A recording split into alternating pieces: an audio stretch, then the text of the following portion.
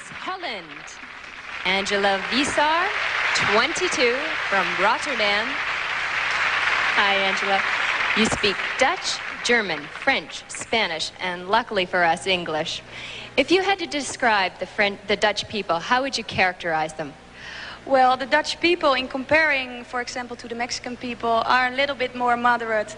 It doesn't mean that we're not, not nice people, but I feel here with the Mexicans such a lot of temperament. And maybe inside the Dutch people have it too, but we kept it a little bit hidden. And um, if I have to say more about it, I love to live in Holland. We are a very peaceful country. We are very peaceful people. And uh, I've, born, I've been born and raised there, and uh, I love it. Okay, of all the other contestants here, who would you say had the most different upbringing other than yourself? Pardon? Who had the most different upbringing from you? Upbringing? Yeah, uh, who had a different um, childhood than you?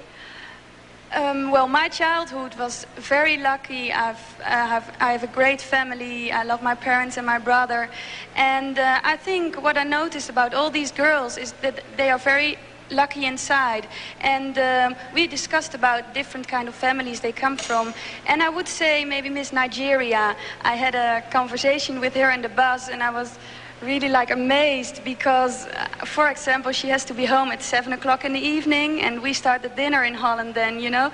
So if you talk about those things, that's completely different. But she is happy in the way she's raised, and I think we all are. Oh, good. I'm glad. Thank you, Angela. Miss Holland. Miss Holland. Angela Visser from Rotterdam. She hopes for a career in television and public relations.